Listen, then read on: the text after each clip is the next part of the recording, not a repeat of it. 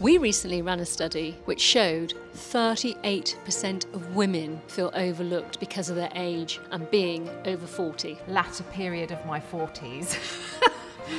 when I do feel like you start to question yourself a little bit, started to feel a bit more anxious, and I started to feel like I was disappearing a little bit. A really great 50th year, and a couple of years after that, I think I sort of started to lose myself a little bit. I felt a little bit invisible. Probably around two years ago, I was feeling really flat, really tired, getting into the late 40s, and just thinking I need a little boost. We see you, and we believe you are a force to be reckoned with.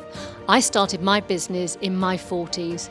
We are a force to be reckoned with. Flip the script really of this isn't me disappearing, this is just a new beginning. And I took up um, open water swimming and um, found something that I really loved. Like you've done your bit now and it's time for you to be a little bit adventurous and get on with your journey. Discover the full report at absolutecollagen.com.